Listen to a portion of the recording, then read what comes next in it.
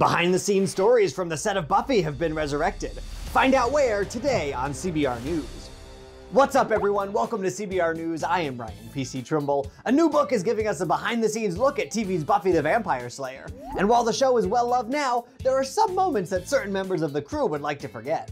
During an interview for Into Every Generation a Slayer is Born How Buffy Staked Our Hearts by Evan Ross Katz, costume designer Cynthia Bergstrom revealed show creator Joss Whedon apparently wanted to fire her long before she left. Bergstrom said that the day she resigned from the program, Whedon said to her, I was thinking of firing you anyway because you're too close to Sarah. Sarah here being Buffy herself, Sarah Michelle Gellar.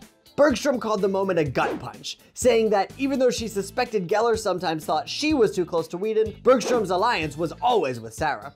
Bergstrom also revealed earlier this year that she and Whedon once got into a disagreement about the show's costumes that ended with Whedon physically harming her.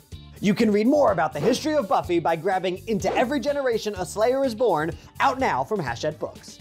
Alright everyone, that's all I've got for you today, but be sure to stick with us here at CBR Presents and CBR.com for all the latest comic book, TV, and movie news. For CBR News, I'm Ryan PC Trimble. Thanks for watching, and I'll catch you later.